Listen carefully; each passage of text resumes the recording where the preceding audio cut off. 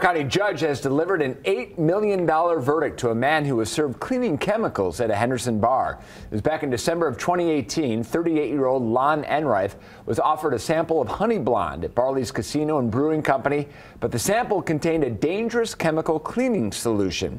Enright then became violently ill and will now continue treatment for lifelong damage. It was determined that although Barley staff knew the lines were out of service for cleaning, the bartender offered Dr. Uh, Enright